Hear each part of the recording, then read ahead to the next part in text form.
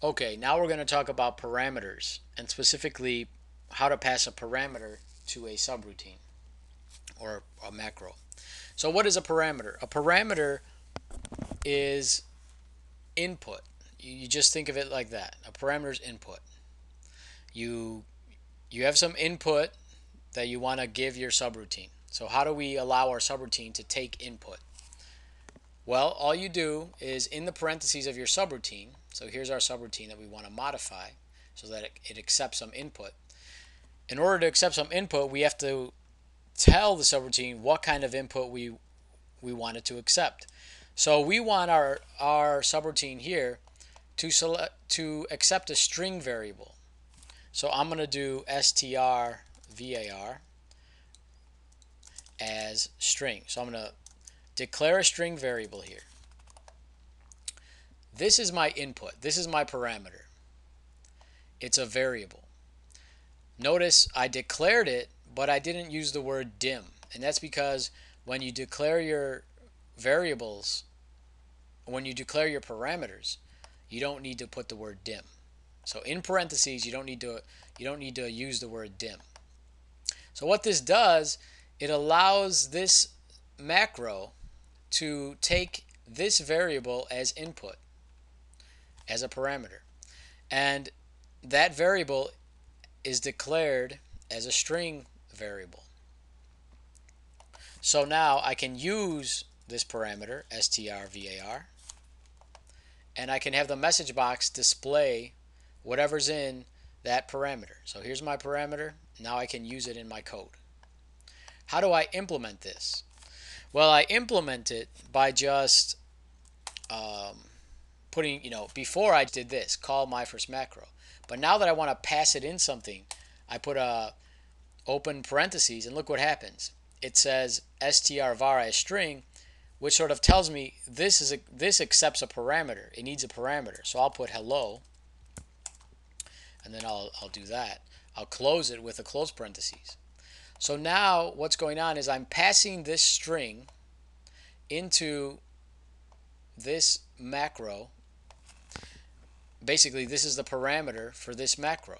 And if I look at this macro, here it is, it's telling me that it accepts a string parameter, which makes sense, right? Here's my string parameter. This thing accepts a string parameter, so everything should work out fine. So when I run this and I click run, I get exactly what I expect, hello. If I change this to uh, hi and I run it, I get hi. Notice what's happening. This is the parameter being passed to this macro uh, through this framework here where I have declared a variable in parentheses and I can use that variable down here that variable is, is the parameter. Um, notice what happens if I go down here and I click run. So if I click run down here, I get a box that pops up. Why does that happen? Because now, now that I added a parameter to this my first macro subroutine, I can't just run it. I need I need to supply it. I need to I need to get that parameter first, right? So that's why the box pops up because you need to select the correct macro, which is this my second macro to run that will call the first one, right? That's why that's why when you go down here like you can't just run this subroutine. You need to you need to have the proper flow of information. This subroutine needs a parameter. You can't just run it. And the parameter comes from here in this subroutine, my second macro. So if I want to run it, and I'm in this subroutine, I have to click run, but then I have to select the correct uh, macro, which is this macro, my second macro, and now I run it, and it'll it'll show me hi. One other thing is that you can pass in multiple parameters. So if I do this, hello, and then I let's say I have another parameter, world. Now I want to pass in two string parameters, so I have to modify this to be str var2 as string. And now I can I can append these. So I could do something like this. you append text by by doing you know you could by doing the ampersand and then quotes around anything you want to put in between and then another ampersand and then str var2 so look what this what do you think this is gonna what's the message box going to show now? It should show the first parameter and then separated by a dash the second parameter. And notice using ampersands to append text. And you could add text by just putting it in, in parentheses. So if I run this now if I go up here and I click F5 I get hello dash world right um, similarly you can add other parameters like if you if you have a, a num variable num as long you can pass in numbers right? And you can append that too. Let's see uh, that should work. So if we click run here oh this is not going to work with that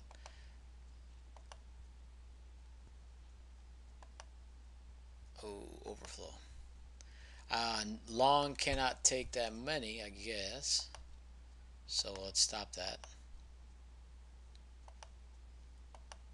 yeah so we got an error because I made the number too big. You know, that was one of the things we saw in the variables video.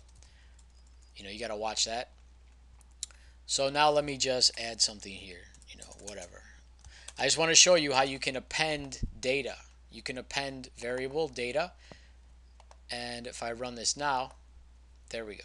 Hello world, and then you have a number. Um, so the main point of this video is passing parameters. And parameters, again, are just input. You pass them inside the parentheses that you want to receive data as input, the subroutine that you want to have input. Um, and you just declare it like a variable, but you don't need you don't need the dim keyword. And then you can use those variables to do whatever you want. Uh, here I put it in a message box by appending it with the ampersand and, and things like that. Uh, but you can do anything you want with these variables. Okay. So this leads into functions, which we're going to take a look at next.